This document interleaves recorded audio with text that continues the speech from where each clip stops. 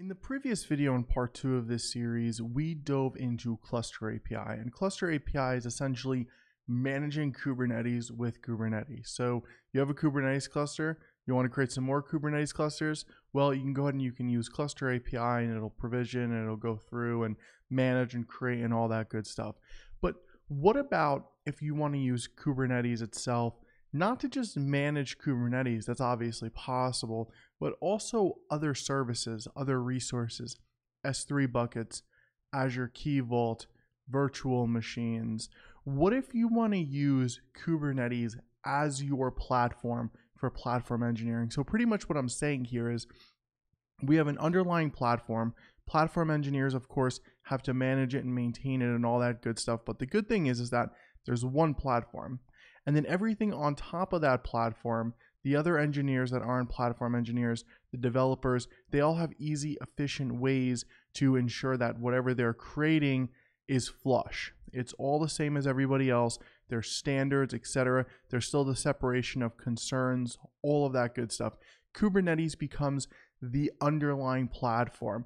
Very much like, oh, I guess now that I'm thinking about it, it does make sense very much like an operating system. So, like the operating system is the underlying component of where you're installing your applications, where you have VS Code running, where you have Docker running, where you have Kubernetes running, right? Like it's this it's this kind of layer here and then you build on top of it and that's kind of like what I'm talking about with Kubernetes. Like you have this layer and then you're building on top of it, Kubernetes being the platform that you're utilizing. So, how can we use Kubernetes for that? How can we use Kubernetes to create other resources and manage other services and all that good stuff. Well, that's where Crossplane comes into play. So Crossplane gives us the ability to say, hey, I want to create an Azure virtual network. I want to create an AKS cluster. I want to create an AWS S3 bucket. I want to create an EKS cluster. Whatever we want, as long as it's available as an object. So let's go ahead and take a look at how to set up Crossplane and we'll kind of see what we're working with here. Hmm. All right, so first things first, you're going to have to install it. So just add the Helm chart, update the Helm chart, and then install Crossplane. And luckily, you don't need to set any, you know, mm, you really don't have to set any variables other than like creating the namespace and the namespace itself. But, you know, out of the box, it, it works as is. So you don't have to do anything outside of that. All right. So this is exactly what I'm going to do. Now, I'm running an AKS cluster, kubectl, get nodes. And I'm going to show if you're in AWS, I'm going to show how to do it as well because honestly, the implementation is pretty much the same. The only difference is the APIs and the objects that you're working with. All right, so first I'm going to go ahead and I'm going to install that.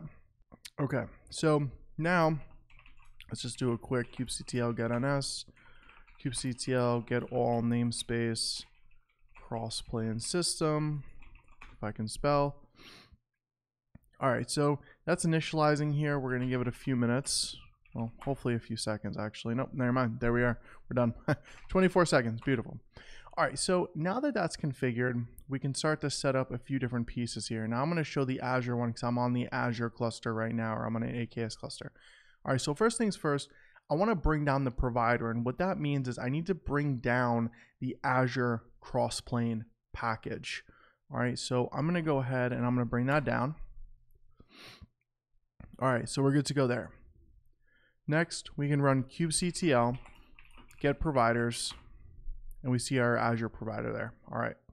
Now, the next thing that I need to do is I need to create a method of authenticating to Azure. All right. So, really quick, I'm going to pop in here my subscription ID. And now what I'm going to do is I'm going to run this AZADSP create for RBAC. So I'm going to create some RBAC. Uh, I think it's like a client ID or an app registration. It's an app registration that gets created for the authentication. So really quick, regardless of what provider you're working with, whether it's Azure, AWS, GCP, doesn't matter. There are two things you'll always need. The provider, which we saw right here, and the authentication method, which we see right here. All right. So you're always going to need to authenticate to the platform and you're always going to need the provider for the platform. All right. So let's go ahead and run this. And while that's running, I'm going to go ahead and I'm to create azure.json. All right. So now what I'm going to do is I'm going to copy this output and I'm going to put in the azure.json file. All right, so that's now in the azure.json file. And then now what I'm going to do is I'm going to cd into crossplane ls. We can see that right here. So now what I'm going to do is I'm going to create a new Kubernetes secret. And this new Kubernetes secret is going to contain the credentials to authenticate to Azure via Crossplane. Now we just have to go ahead and configure the provider to ensure that it collects the secret, as in it uses the secret.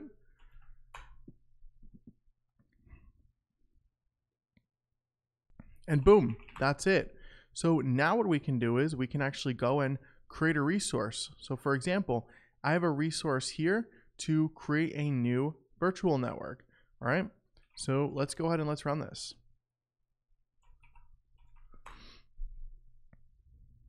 All right, and as we can see, that was created successfully. So now let me just go ahead and show you the AWS one really quick. And it's going to be the same thing. I'm going to create the provider. I'm going to pull down the provider, right? Next, I'm going to go ahead and I'm going to get the providers. I'm going to go ahead and I'm going to add my AWS access key and secret ID from IAM. I'll create the secret from it and then I'll update the provider configuration. So again, as you can see, it's pretty much all the same across the board. The biggest difference is the APIs that you're using. And then for example, here's a configuration to create an S3 bucket.